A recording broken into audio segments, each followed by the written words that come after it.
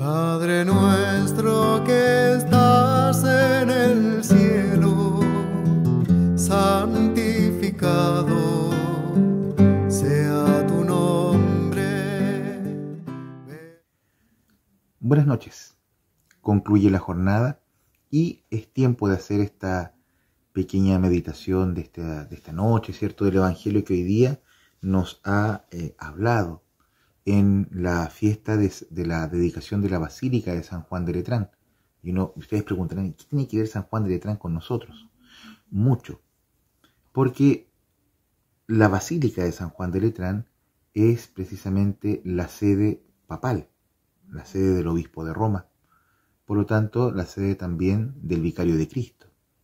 Las grandes celebraciones se hacen en San Pedro, pero la sede de, de, Roma, ¿cierto?, está en San Juan de Letrán. Por eso es la primera de las sedes. Y el Evangelio que hoy día nos habla precisamente tiene que ver con el templo. Jesucristo, ¿cierto?, hace esta comparación del templo de Jerusalén con su propio cuerpo, que es templo del Espíritu Santo, templo de Dios. Pero ¿Cuál es nuestra relación con este templo? Nosotros también por el bautismo somos templo del Espíritu Santo. ¿Cómo cuidamos nosotros nuestro templo? ¿Cómo cuidamos, cierto, esta luz que entra a nuestra vida, que es la palabra de Dios? ¿Cómo cuidamos, cierto, lo que oímos o cómo cuidamos nuestro propio templo? ¿Lo cuidamos, cierto, con el mismo celo que lo cuida Jesucristo? ¿Ah?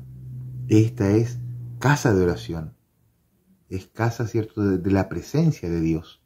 Es aquí, ¿cierto?, donde en mi corazón me recojo cada día a esta hora precisamente a hacer esta reflexión. ¿Cómo cuido mi cuerpo? ¿Cómo cuido mi vida? ¿Cómo cuido la permanencia de Dios en mí? Que el Señor nos bendiga en esta noche en el nombre del Padre y del Hijo y del Espíritu Santo. Amén. Buenas noches.